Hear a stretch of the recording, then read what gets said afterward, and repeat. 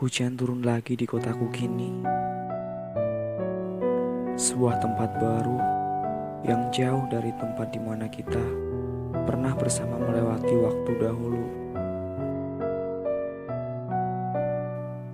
Ketika hujan masih menahanku untuk berada di sisimu. Kala itu, hingga waktu itu akhirnya tiba di bulan Februari. Bulan pertama di mana tak ada lagi kata kita antara aku dan kamu. Saat itulah kita mulai memilih jalan hidup kita masing-masing. Hingga terpisah pada rentang kehidupan yang jauh.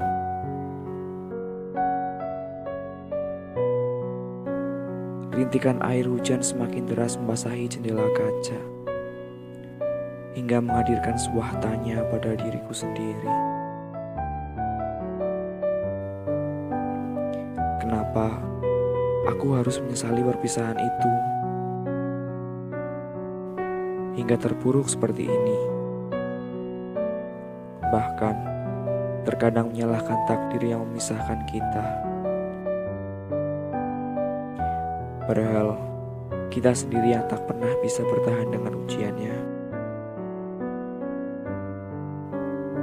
Selamat datang Februari dengan kehilangannya.